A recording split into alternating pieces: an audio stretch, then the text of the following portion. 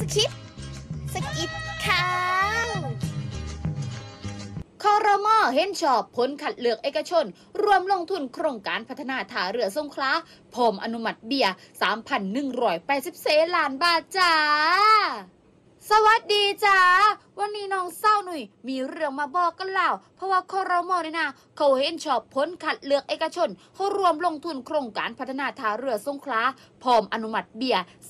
3,180ล้านบาท ให้กรมเจ้าท่าขุดหลอกและบำรุงรักษาโรงน้ำสงขลารองรับนำค่าและการส่งออกสินค้าในภาคใต้จ้า โดยเทประชุมคอรมอเนี่ยนะเขาเห็นชอบผลการคัดเลือกเอกชน แล้วก็ร่างสัญญารวมลงทุนสำหรับโครงการพัฒนาปรับปรุงท่าเรือสงขลาในรูปแบบการรวมลงทุนของภาครัฐ แล้วก็เอกชน หรือว่า PPP ภายใต้พรบการให้เอกชน รวมลงทุนในกิจการของรัฐ วงเงินหนังเพเนี่ย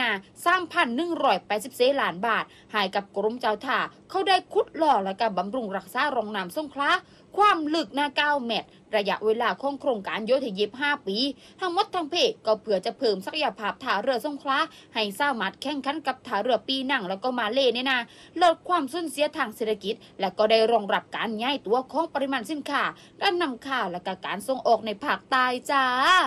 สำหรับแนวทางในการปรับปรุงท่าเรือสงขลาเนี่ยนะเขาจะมีการปรับปรุงโครงสร้างนาท่าแล้วก็ติดตั้งเครนนาท่าเรือ การปรับปรุงลานตูสินค้า และก็เพิ่มเติมเครื่องมือและอุปกรณ์ ที่จะสนับสนุนการขนถ่ายสินค้าด้วยเครนขนาดใหญ่ โดยบริษัทจำกัดเจ้าพระยาท่าเรือซากลนเขาเป็นผู้ยื่นขอเสนอด้านผลประโยชน์ตอบแทนสูงสุด ก็เลยทำให้รัฐนาได้รับผลตอบแทนสูงขึ้นว่าเดิมว่าร้อยละ34จุดเซเซจ้า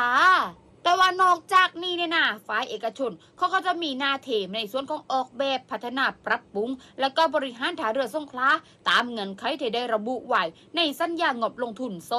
2,387 ล้านบาท โครงการนี้เนี่ยก็จะทำให้ท่าเรือสงขลารองรับขนาดเรือที่เข้ามาใช้บริการท่าเรือน้ำลึกสงขลาได้มากขึ้น ลดค่าใช้จ่ายต้นทุนการขนย้ายสินค้าส่งออกเพิ่มขีดความสามารถของท่าเรือน้ำลึกบริเวณชายฝั่งอ่าวไทยตอนล่าง ในการขนถ่ายสินค้าประเภทตู้คอนเทนเนอร์ไปยังประเทศคู่ค้าที่สำคัญ เพื่อจะเพิ่มธุรกิจการนำเข้าวการส่งออก แล้วก็เพิ่มขีดความสามารถในการแข่งขัน แล้วก็สร้างความเจริญเติบโตทางเศรษฐกิจให้กับประเทศและก็ท้องถิ่นบ้านเรานั่นแหละจ้าไอ้ยะน้องเศร้าหน่ยยอมรับเลยว่า โครงการนี้ถือเป็นโครงการที่ดีจริงๆที่จะมาช่วยพัฒนาเศรษฐกิจบ้านเรานั่นแหละจ้าบ๊ายบาย